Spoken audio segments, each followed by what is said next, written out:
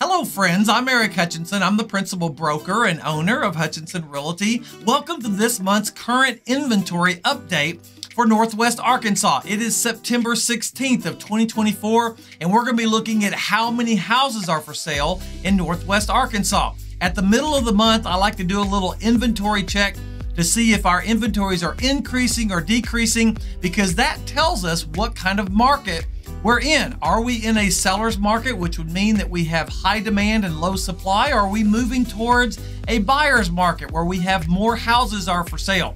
We have been in stuck in a seller's market for four years, and so it's going to be interesting to see if that trend continues. We're only looking at single family residential active listings, and we're really just concerned with how many houses are for sale compared to last month and last year. We're going to be looking at our six largest towns. We'll be looking at Fayetteville, Springdale, Rogers, Bentonville, Centerton, and Bella Vista. And we're only looking at single family residential property. Lots of interesting data. Let's get into it, shall we? So let's start south in Fayetteville. This time last month, Fayetteville had 347 houses for sale at $217 per square foot. Keep in mind, these are active listings.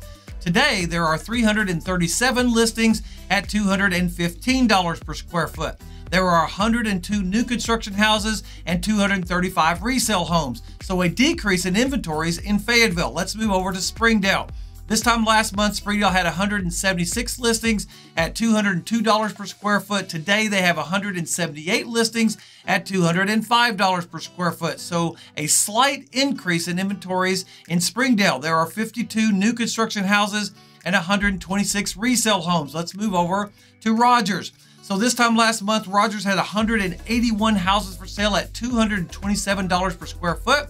This month they have 176 listings for sale and also $227 per square foot. There are 20 new construction housing and 156 resale homes. So a decrease in Rogers in their inventories. Let's move over to Bentonville. So this time last month, Bentonville had 213 houses for sale at $262 per square foot.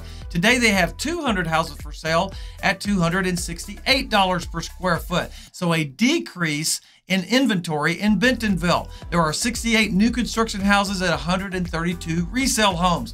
Let's move over to Centerton. This time last month, Centerton had 58 houses for sale at $213 per square foot. Today they have 49 houses for sale at $209 per square foot. Today they have 19 new construction housing housing for sale and 30 resale homes. So an increase in our resale homes, a decrease in new construction in Centerton. Let's move over to Bella Vista. So this time last month, Bella Vista had 211 uh, houses for sale at $211 per square foot. Today they have 212 houses for sale at $213 per square foot. So a very slight increase in inventories. There's 80 new construction housing and 132 resale homes. So let's take a look at all of the data in the, our six largest towns. So if you notice where my picture is on your screen, the left-hand side of the screen, this was in 2023. And the second half of the year, Northwest Arkansas had an increase in inventory, mainly because our, our interest rates started going up higher, over 7.5%, close to 8%. And so our inventory started increasing. But if you notice in January of 2024 over here, you can see that our Inventory started at 1188, went to 1122, then up a bit to 1131, then down to 1121, 1146, 1120, 1096, 1186. In August, I thought that our inventories were coming back, and then this month in September, 1152. There are 340 new construction houses and 812 resale homes. So, what conclusions can we draw?